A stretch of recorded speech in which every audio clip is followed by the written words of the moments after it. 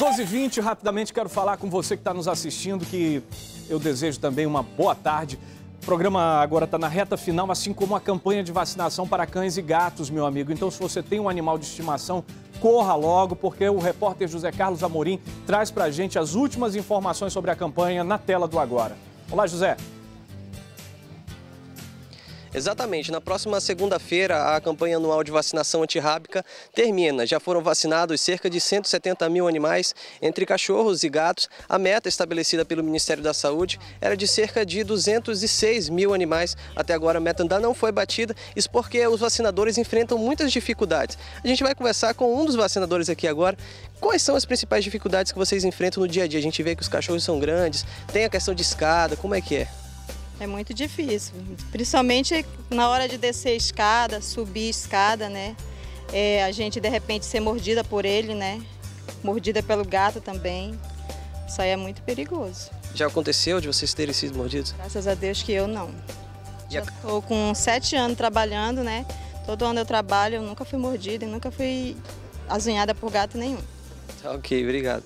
É isso aí, a campanha vai até segunda-feira e quem quiser pode entrar em contato com o Centro de Controles de Zoonoses. Volto com você no estúdio. Obrigado, José Carlos Amorim, pelas informações. 12 horas 21 minutos. Márcia Lasmar, está na hora de Tatiana Sobreira, direto da comunidade, as últimas considerações. É isso mesmo, Amaral. Olha a dificuldade da criatura para manobrar aqui, repara. Pega na hora, ó, oh, presta atenção a dificuldade.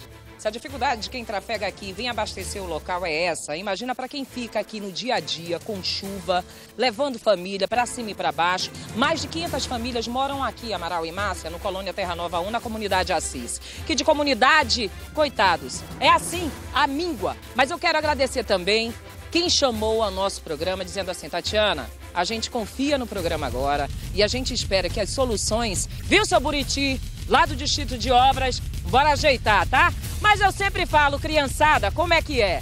Se a comunidade chamou... Balançando tudo, te deixo na paz. Amaral e Márcia, até amanhã, de qualquer ponto da cidade. Tchau. Muito bem, obrigado, Tatiana Sobreiras. Informações direto da comunidade. É inaceitável que a comunidade Assis, essa que a gente. Tem imagens? Coloca imagens na tela aí, diretor.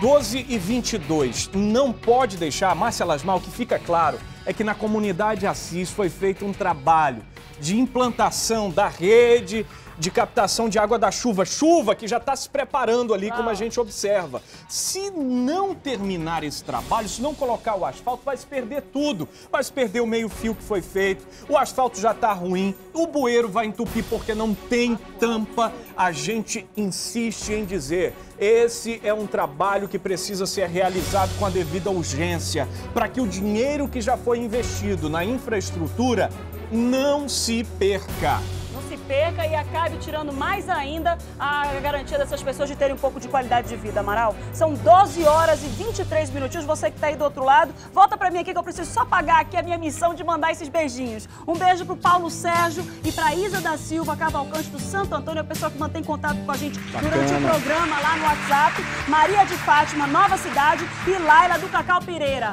Eu preciso mandar um beijo. Hum, peixinho, que eles pediram peixe, peixinho, coração de palha. Pra tia Elsa também. Foi inventar esse negócio de, de soltar script, agora eu vi, olha. Me deu a ideia. Beijo, peixinho, coração explode pra todo mundo. Uma ótima tarde pra você. Boa tarde, até amanhã. Pra você também. Obrigado.